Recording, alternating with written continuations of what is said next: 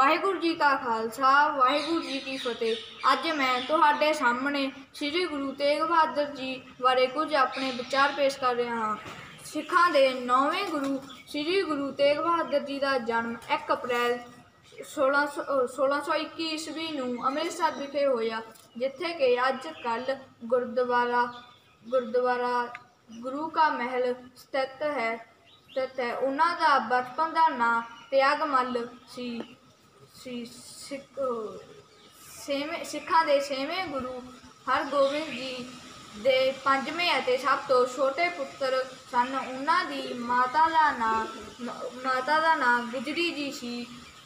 ਸੀ। ਬਚਪਨ ਤੋਂ ਹੀ ਤਿਆਗਮੱਲ ਬੜੇ ਹੋਣਹਾਰ ਸਨ। ਲਗਭਗ 5 ਸਾਲ ਦੀ ਉਮਰ ਵਿੱਚ ਬਾਬਾ ਬੁੱਢਾ ਜੀ ਅਤੇ ਅਤੇ ਭਾਈ ਗੁਰਦਾਸ ਜੀ ਨੇ ਉਹਨਾਂ ਨੂੰ ਸਿੱਖਿਆ ਦੇਣੀ ਸ਼ੁਰੂ ਕਰ ਦਿੱਤੀ ਅਤੇ ਜਲਦ ਹੀ ਜਲਦ ਹੀ ਪੰਜਾਬੀ, ਸੰਸਕ੍ਰਿਤ, ਫਾਰਸੀ ਭਾਸ਼ਾਵਾਂ, ਗਣਿਤ, ਰ- ਰਮਾਇਣ ਪੁਰਾਣ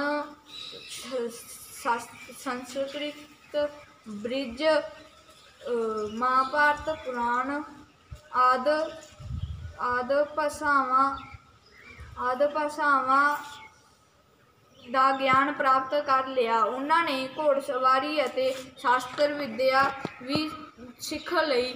ਉਹ ਆਪਣੇ ਪਿਤਾ ਗੁਰੂ ਹਰਗੋਬਿੰਦ ਜੀ ਦੇ ਨਾਲ ਸ਼ਿਕਾਰ ਖੇਡਣ ਵੀ ਜਾਇਆ ਕਰਦੇ ਸਨ।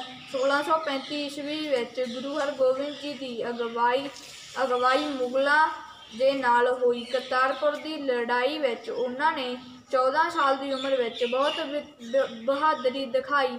ਦਿਖਾਈ ਅਤੇ ਗੁਰੂ ਹਰਗੋਬਿੰਦ ਜੀ ਨੇ ਖੁਸ਼ ਹੋ ਕੇ ਉਹਨਾਂ ਦਾ ਨਾਂ ਤੇਗ ਬਹਾਦਰ ਤਲ- ਤਲਵਾਰ ਵਿੱਚ, ਤਲਵਾਰ ਚਲਾਉਣ ਵਿੱਚ ਬਹਾਦਰ ਰੱਖ ਦਿੱਤਾ।